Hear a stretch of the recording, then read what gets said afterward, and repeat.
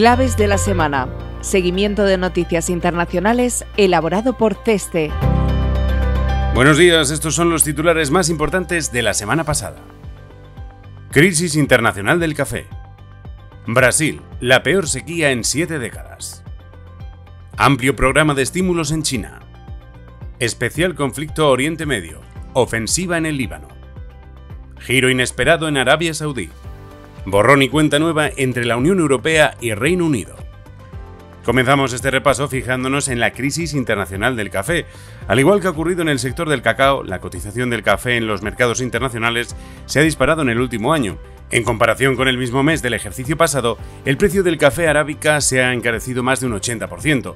En los últimos días la cotización ha superado los 2,6 dólares por libra, el valor más alto de la última década. El principal motivo del drástico aumento de la cotización, al igual que en el caso del cacao, es el comportamiento cada vez más irregular de los patrones climatológicos. En concreto, Brasil, el principal productor, representa alrededor del 40% del mercado, está atravesando una de las sequías más severas de los últimos 70 años. En consecuencia, se calcula que el rendimiento de las cosechas en la temporada 2023-2024 ha descendido un 20%. Se prevé además que el impacto será aún mayor a lo largo del próximo año. Al mismo tiempo, el tifón Yagi ha diezmado las cosechas de las plantaciones de las tierras altas centrales de Vietnam, una de las mayores zonas de producción de café robusta, una de las principales variedades junto con la arábiga. Por si fuera poco, el shock en la oferta está convergiendo con una demanda cada vez mayor, especialmente en el continente asiático. Con todo, el mercado del café está atravesando una inédita tensión donde resulta difícil anticipar hasta dónde pueden escalar la cotización en los próximos meses. Y continuamos fijándonos precisamente en la sequía en Brasil, que se enfrenta a la más intensa y prolongada desde que se iniciaron los registros en 1950. La sequía afecta al 58% del país y está provocando una reducción significativa en el caudal de los ríos, con el consiguiente impacto en la agricultura, el comercio exterior y la generación de energía hidroeléctrica, que representa más del 70% de la matriz energética del país. Este fenómeno ha desatado además un aumento en la propagación de incendios forestales, resultando en la pérdida de millones de hectáreas. El gobierno de Luis Ignacio Lula da Silva ha aprobado medidas de emergencia como la asignación de fondos y la contratación de bomberos, pero las divisiones políticas y las restricciones fiscales complican una respuesta eficaz. Todavía es pronto para estimar con precisión el impacto de estos fenómenos en el crecimiento económico. Las previsiones elaboradas antes del verano apuntaban a una desaceleración del crecimiento para este año, con estimaciones que varían entre el 2,1% del FMI y el 2,3% del Banco Central. Sin embargo, en vista de la gravedad de la sequía, es probable que los resultados sean finalmente peores. Esta ralentización obedece a varios factores. En primer lugar, se espera un impulso fiscal menor en comparación con 2023, debido a la necesidad de reducir el déficit público. En segundo lugar, las inundaciones en Río Grande do Sul han afectado significativamente la producción agrícola. Y finalmente, los tipos de interés siguen siendo restrictivos para alinear la inflación con el objetivo del Banco Central. Además, la combinación de sequías e incendios va a ejercer presión sobre los precios, ya que la reducción en la producción agrícola y la necesidad de recurrir a fuentes de energía más costosas impactarán de forma preocupante en el coste de la cesta de la compra. También nos fijamos en China, que ha lanzado el pasado 24 de septiembre un amplio paquete de estímulos para enfrentar la desaceleración de su economía, que incluye recortes en la tasa de interés de referencia y medidas para apoyar el mercado bursátil y el sector inmobiliario. El Banco Popular de China anunció un recorte del 1,7% al 1,5% del principal tipo de interés del Banco Central chino, de la operación de recompra inversa a 7 días. También ha recortado el coeficiente de reservas bancarias en 0,5 puntos porcentuales, lo que supone una inyección de liquidez de un billón con B de yuanes, que equivalen a 128.000 millones de euros. Por lo que respecta al mercado inmobiliario, se contempla un recorte de 50 puntos básicos en las tasas de interés promedio para las hipotecas existentes y la reducción del requisito de pago inicial mínimo al 15% para todo tipo de viviendas. Por último, se ha anunciado un fondo de 500.000 millones de yuanes, aproximadamente 63.860 millones de euros, destinado a proporcionar liquidez a fondos y aseguradoras para que puedan adquirir acciones en el mercado a través de una línea de swap, en la que pignoren sus activos por activos de alta calidad, como letras del Banco Popular de China y bonos del gobierno. Además, se ha aprobado una línea de refinanciación para respaldar las recompras y compras de acciones de las empresas que cotizan en bolsa. El anuncio de este generoso paquete de estímulos impulsó un alza del 4,3% en el índice CSI 300 y del 4% en el índice Hang de Hong Kong. A nivel global, los mercados de materias primas también reaccionaron positivamente. La cotización del hierro subió un 4%, el cobre un 2,2% y el aluminio un 2,4%. Sin embargo, y a pesar de estas medidas, los analistas dudan de que China logre alcanzar su meta de crecimiento del 5% para este año. Posiblemente sea necesario un mayor gasto fiscal directo para impulsar la economía, ya que la demanda de crédito sigue siendo débil. La desaceleración del sector inmobiliario ha afectado a la confianza del consumidor y aunque se han flexibilizado las condiciones para la compra de segundas viviendas, la eliminación de inventarios no vendidos sigue siendo crucial para reactivar el consumo interno. Y una semana más nos tenemos que fijar en el conflicto en Oriente Medio, concretamente en la ofensiva en el Líbano.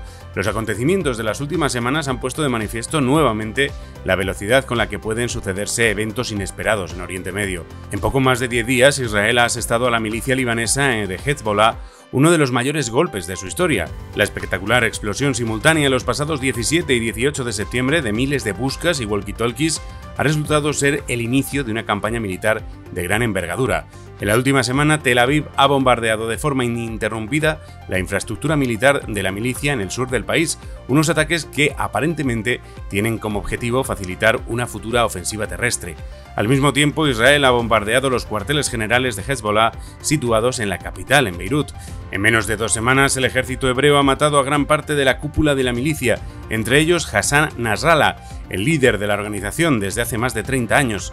El clérigo chií, eh, muy cercano al régimen de los ayatolás de Irán, era considerado por sus seguidores un héroe, uno de los mayores exponentes del movimiento anti-israelí.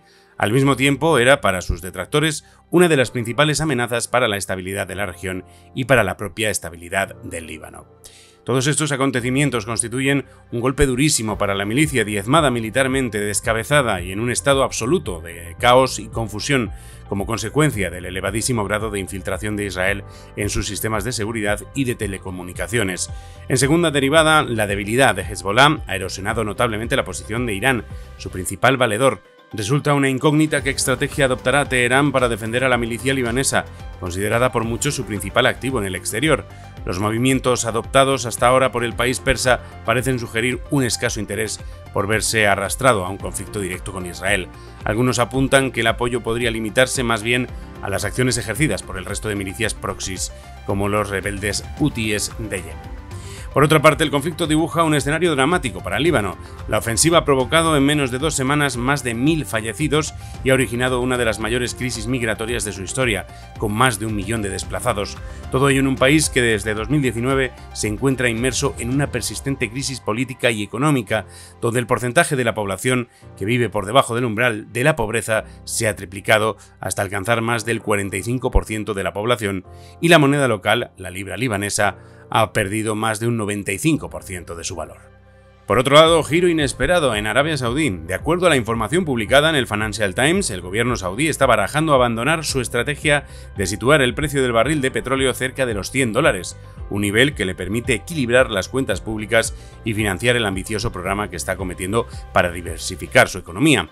Para ello, el Reino del Desierto ha defendido en los últimos años adoptar en el seno de la OPEP Plus diversos ajustes en el sistema de cuotas para drenar el exceso de capacidad del mercado y presionar a la alza la cotización. Según indican los medios de comunicación especializados, a partir de ahora Riad dejará en un segundo plano la evolución de los precios y por el contrario priorizará mantener e incluso incrementar su cuota de mercado. En consecuencia, se espera que a partir de diciembre sus exportaciones de crudo aumenten en 83.000 barriles diarios, una cifra que podría incrementarse en los siguientes meses. Este movimiento supone un inesperado cambio de guion, teniendo en cuenta que la mayoría de los analistas esperaban que el cártel aplazase sin edie la flexibilización de los sistemas de costes. Cabe esperar que este cambio de estrategia sea adoptado también por el resto de países de la OPEP Plus, especialmente por aquellos como Emiratos Árabes Unidos, con una importante capacidad ociosa. De materializarse, estos movimientos conducirán a un exceso de oferta mayor de lo estimado inicialmente para 2025, un escenario que, salvo acontecimientos geopolíticos inesperados, presionará a la baja los precios. Y finalizamos este repaso con el borrón y cuenta nueva que se ha producido entre Unión Europea y Reino Unido. El recién elegido primer ministro británico, Keir Starmer, y la reelegida presidenta de la Comisión Europea, Ursula von der Leyen, se reunirán la próxima semana en Bruselas para iniciar conversaciones acerca de cómo abordar las relaciones entre Reino Unido y la Unión Europea tras el Brexit. Los dos líderes no habían mantenido conversaciones formales desde que Starmer asumió el cargo el pasado 4 de julio, ya que von der Leyen estaba inmersa en su propia reelección y la formación de la nueva comisión. Starmer, en cambio, sí que ha realizado una gira europea donde ha tenido encuentros con una serie de líderes de la Unión. Precisamente el mes pasado, durante su visita al canciller alemán Olaf Scholz, adelantó su deseo de reparar las tensas relaciones con el bloque, sin que ello suponga, eso sí, revertir el Brexit. Con el objetivo de restaurar algunos de los vínculos, Bruselas ha propuesto un esquema de movilidad juvenil para aquellos europeos y británicos comprendidos entre los 18 y los 30 años. Sin embargo, Londres no quiere ni oír hablar de restaurar la libre circulación de personas, ya que fue uno de los factores que motivaron la salida del Reino Unido del bloque comunitario. Londres, por su parte, ha adelantado que intentará alcanzar un acuerdo veterinario con la Unión Europea para suavizar las barreras en el comercio de alimentos y animales, el reconocimiento mutuo de las cualificaciones profesionales y un acuerdo para ayudar a los músicos británicos a recorrer más fácilmente el bloque. Starmer también quiere firmar un pacto en materia de seguridad e incrementar la cooperación para atajar la inmigración ilegal. No obstante, cualquier acuerdo post-Brexit que sea más favorable para Gran Bretaña inevitablemente requerirá que Starmer haga concesiones a la Unión Europea. Y hasta aquí nuestro repaso de noticias internacionales. Recuerda que puedes consultar más desde el apartado de comunicación claves de la semana en nuestra web ceste.com. Hasta la semana que viene.